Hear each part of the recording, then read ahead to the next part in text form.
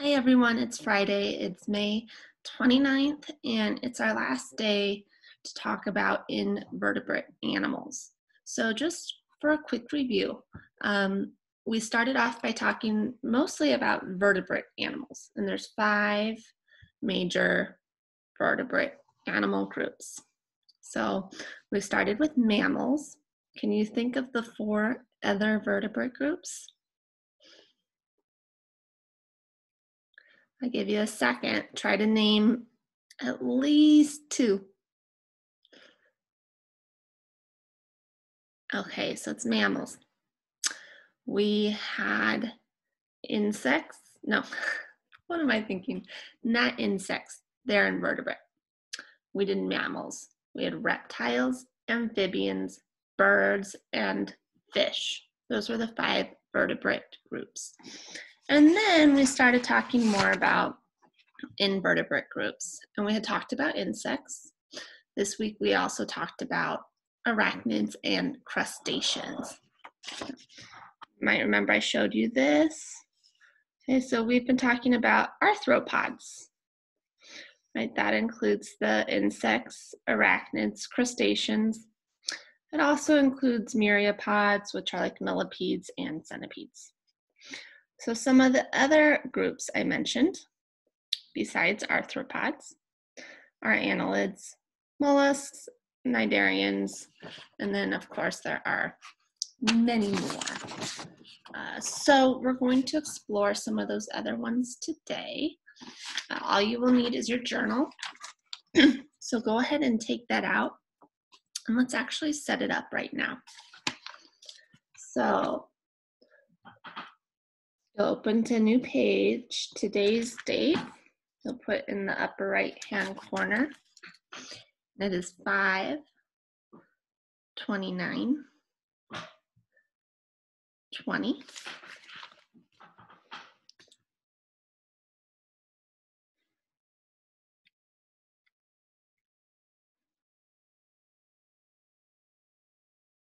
And the title will be Invertebrates.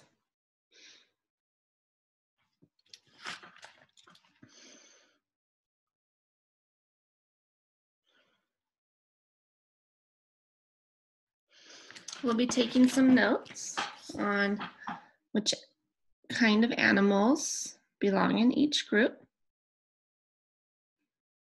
And then I'll give you a chance to explore one that you would like to learn more about. Okay, so when you're ready, we'll move on. If you need more time, go ahead and pause. Okay, I'll be moving on.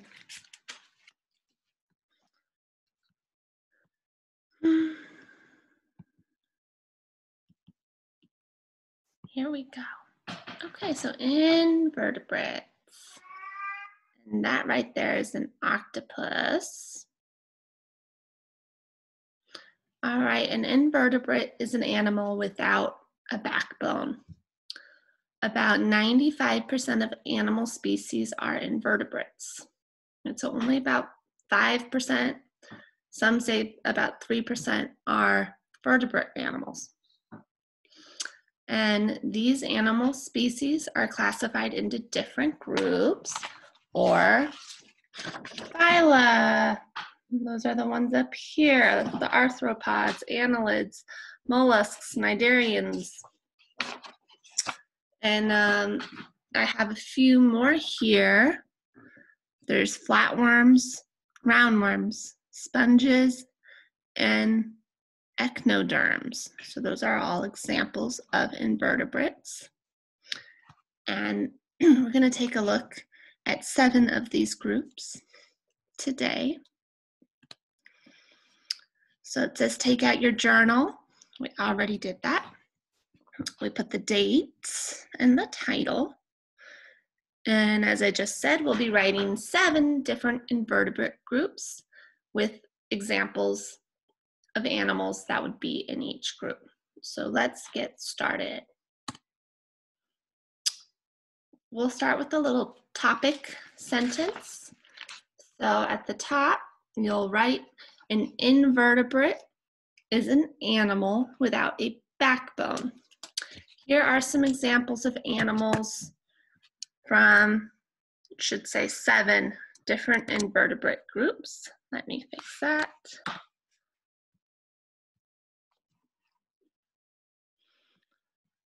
so go ahead and write that in your journal. After you write uh, those first two sentences, you'll skip a line and write the number one. Don't write all uh, seven numbers at once because you don't know how much space you'll need for each one. So just write one.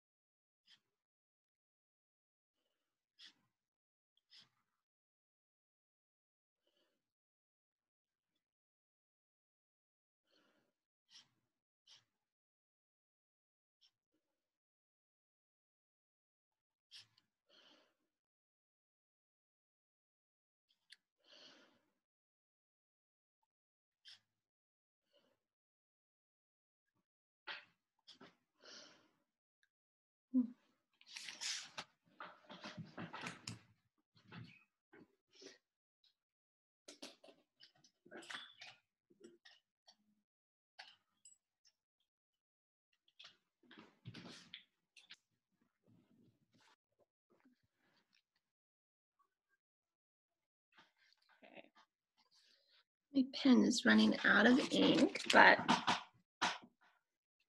it should look something like this. Write the two sentences, skip a line, and then the number one.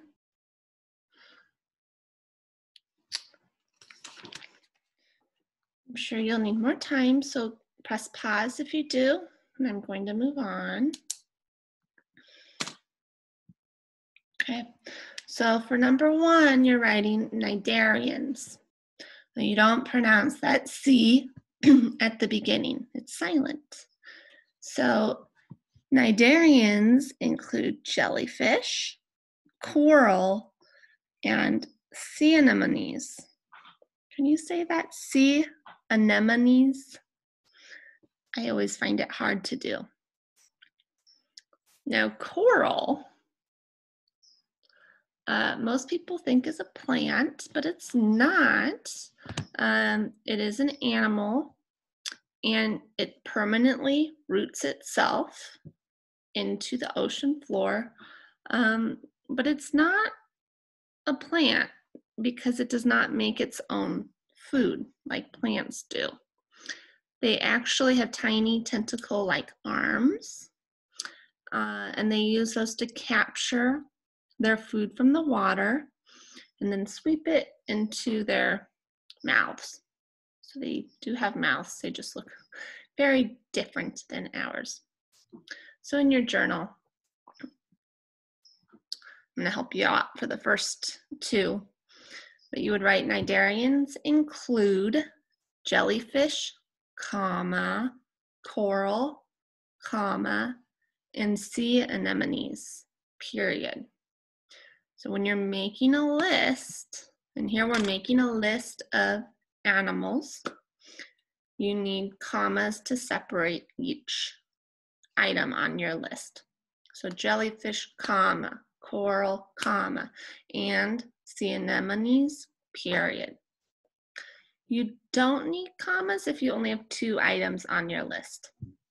But if you have more than two, you separate with commas.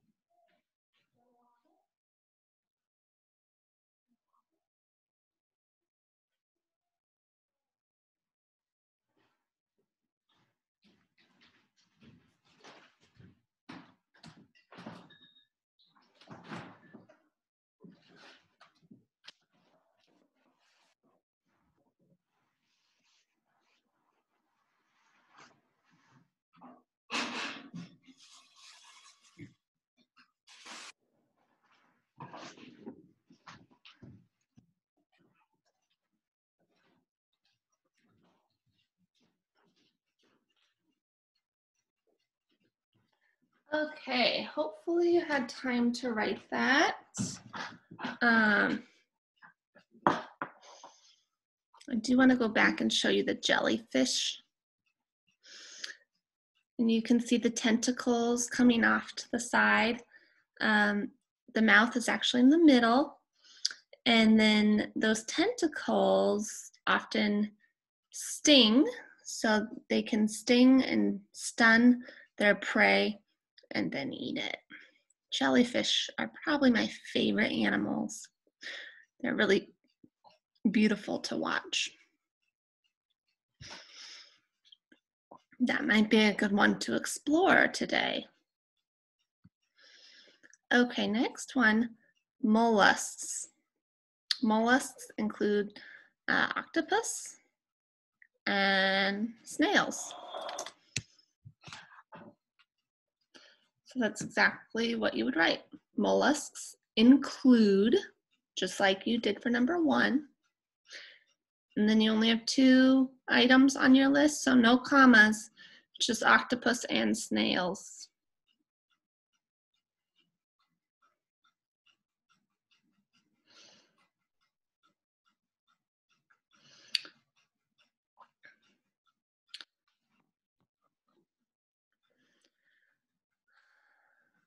Oh, I was just trying to see if octopus should be octopuses or octopi.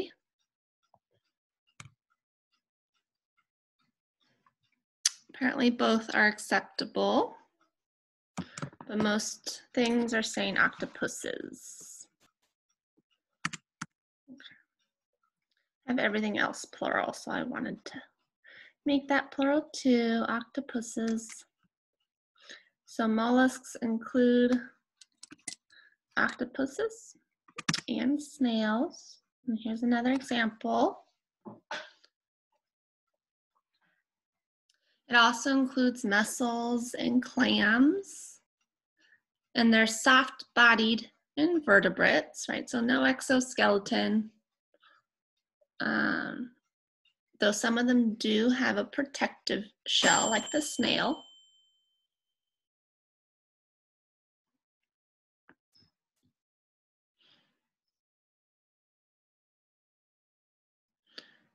If you need more time, go ahead and pause. I'm going to move on.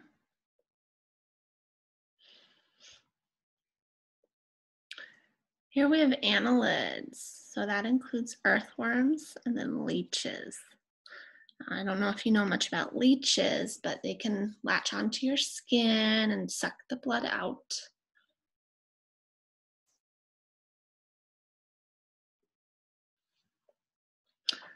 Uh, but yeah, these these animals are all made up of ringed segments. So you can kind of see the, the little ring segments all throughout the body. If you look closely. So in your journal, just like the first two, you're writing um, annelids include, and then earthworms and leeches.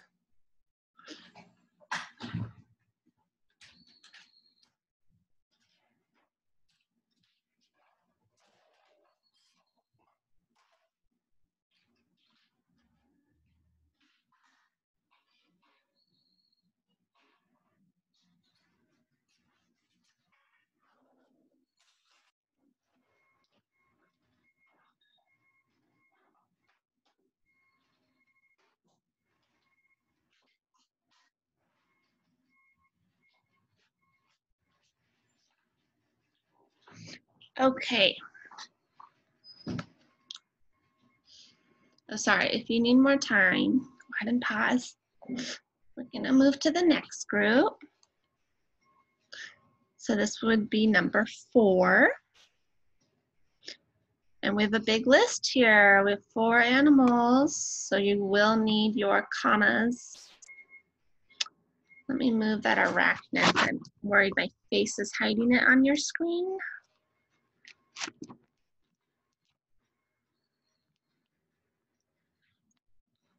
Move the word down just in case.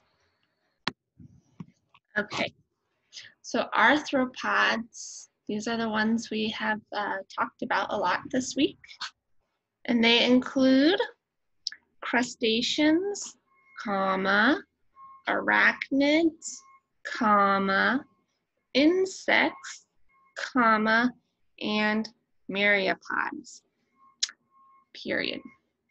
And myriapods, like I said earlier, include millipedes and centipedes.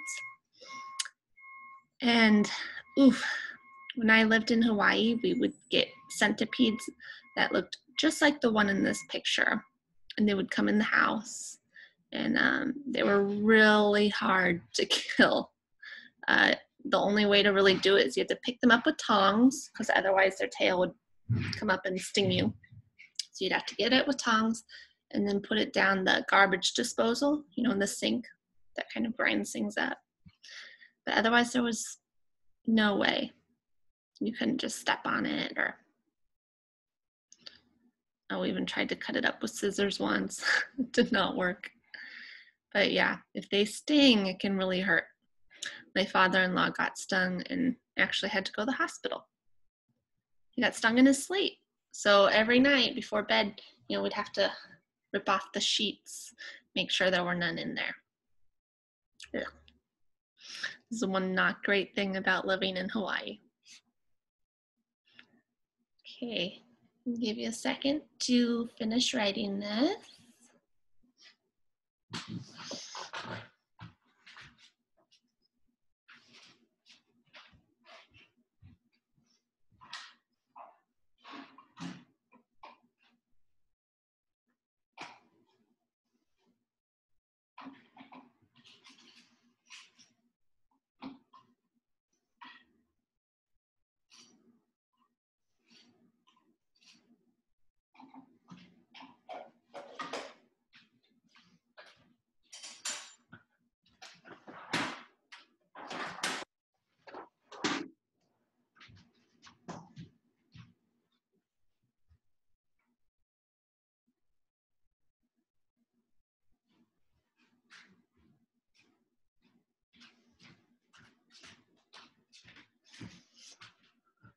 Okay, if you need more time, pause. We'll go to the next one.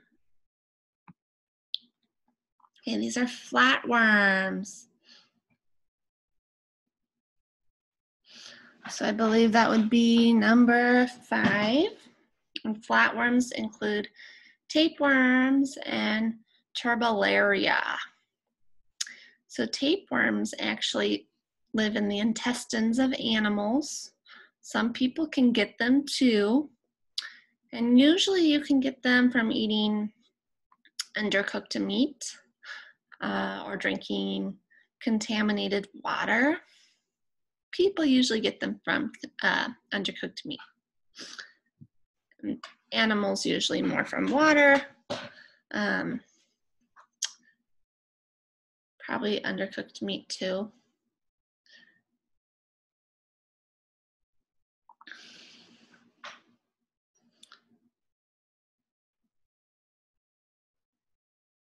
But yeah, they, they are parasites, flatworms, and they invade other animals, including people, and live off of them.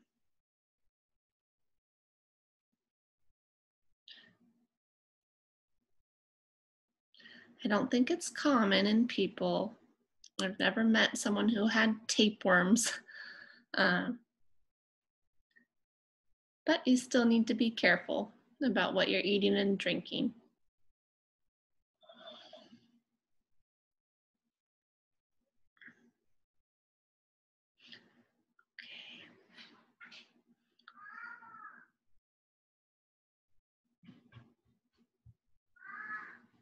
Just a minute.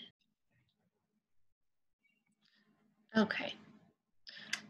So I'll finish writing that flatworms include tapeworms, and Turbellaria.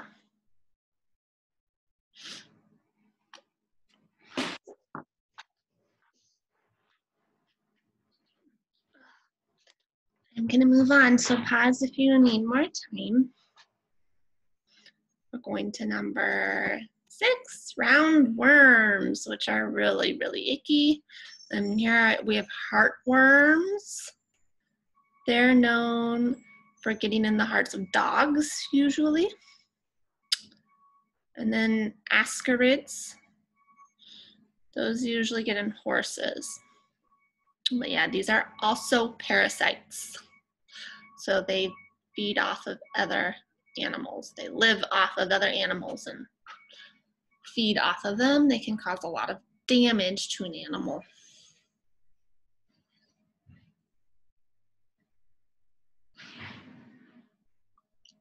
An interesting fact, uh, roundworms are the most widespread animal on earth. Billions of them can live in a single acre of soil. Billions on a single acre. So an acre,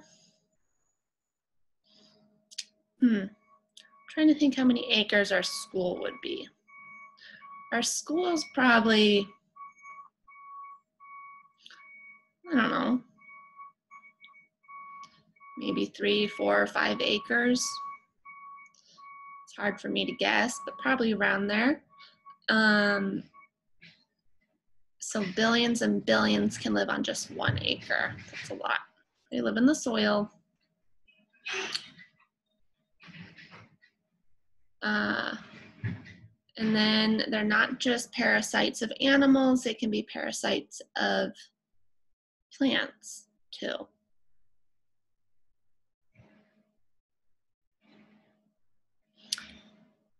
and that is a heart. In the picture, right, they're heartworms, they attack the heart.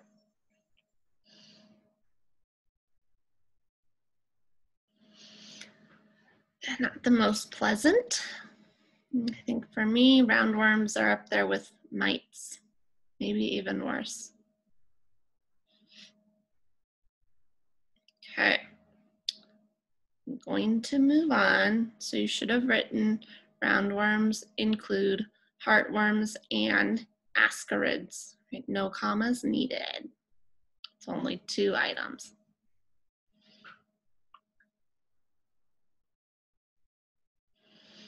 Okay, echinoderms. Let me move this word so my face isn't blocking it. Echinoderms include sea urchins, starfish, and sea cucumbers. I should add an S there. Whoops.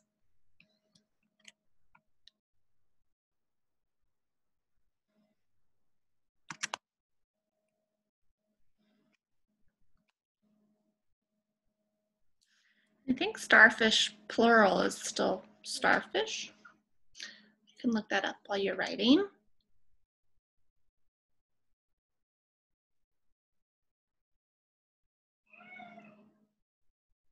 Oh. The plural of starfish can be starfishes or starfish. I'm just going to leave it as starfish. Uh, but yeah, echinoderm means spiny skin. Echino is spiny, derm is skin. So you may have seen a dermatologist before. Someone, it's a doctor for your skin. Echinoderm is spiny skin. Uh, and that's definitely one thing you'll find in these animals. They all have spiny skin, some spinier than others. Uh, they also do have an internal skeleton of bone-like plates. Uh, they have a water-filled network of veins and thousands of tube feet that they can use to suction themselves to things.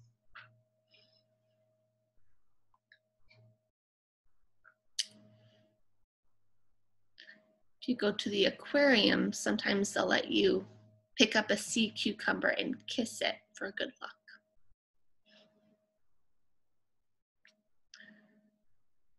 Okay, if you need more time, pause. This is number seven, it's the last one. I'll move on and give you your assignment for today. Uh, we're doing an invertebrate exploration.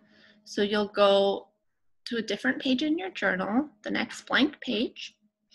And at the top, just write invertebrate exploration. It should be capital since it's a title. keep catching all these mistakes. Okay. Invertebrate exploration, the date is still 52920. So, were there any animals you saw that you would like to learn more about? You can pick any invertebrate animal, and you have a whole list of them now in your journal. so you can pick any invertebrate animal to learn more about.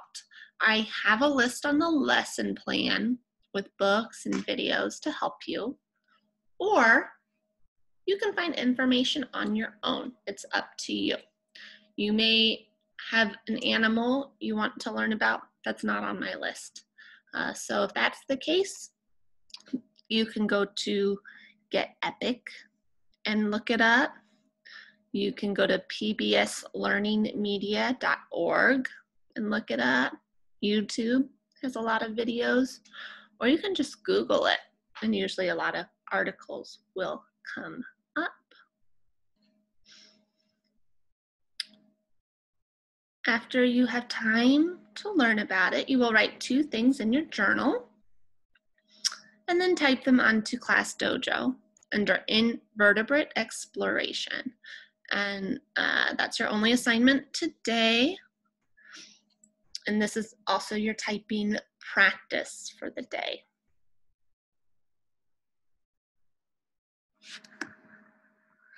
So let me show you some of the animals on the lesson plan that you can pick from if you want.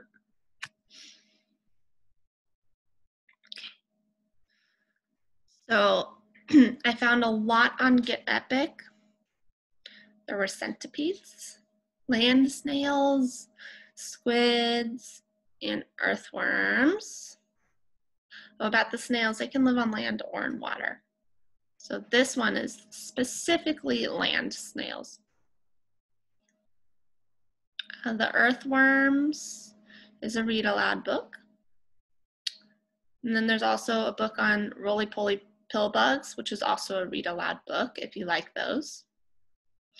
And remember, the books are great because you can just put it up on your screen while you write in your journal, and the information's right there. You don't have to read the whole book. Just find two things you find interesting or that you learned. Uh, I also have octopuses, which is on Get Epic. So lots of books. And then there's a video on YouTube on jellyfish, my favorite. And you can look up just about any uh, other of the animals that I showed pictures of and we mentioned in our journal. Uh, there's even more I didn't even mention. Did you know sponges are invertebrates? They are. So there's a lot you can pick from. And then when you're writing, it's going to be the same format as all our other explorations. So you would write, I watched a video or I read a book on, then tell me which kind of invertebrate. Was it jellyfish? Was it octopus? Was it an earthworm? And then the two things you learned. I learned blank. I also learned blank. If you want to tell me more, that's great. Uh, just remember you do need to type it. So that's it for today. Please have a wonderful weekend. And next week, we will be doing some measurement activities. That was one of the units we didn't really uh, get into uh, this year. So we'll just take the week to do some, some fun measurement things. We have some measurement art activities. Uh, we'll also practice measuring things around our houses. So if you can, try to find a ruler or a tape measure. Um, if you don't have any, I'll show you how to make your own ruler next week. All right, everyone, uh, that's it. Bye.